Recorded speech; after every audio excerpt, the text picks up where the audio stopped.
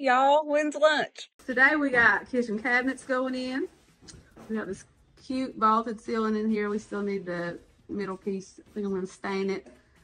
I don't know what color yet. So kitchen cabinets going in today. They were out of our countertop. I don't know when they're gonna get those in again, so that's got me a little scared. But we're gonna be okay. Rest of the flooring is going down. And then I can get in there and grout that tile behind the bathroom sink. It's gonna be a good day, y'all. Okay, hang on, hold up. Back to yesterday for a minute. We finished all the cuts around the edge of the tile wall. Last piece of the puzzle. Mm-hmm. Joy to the world.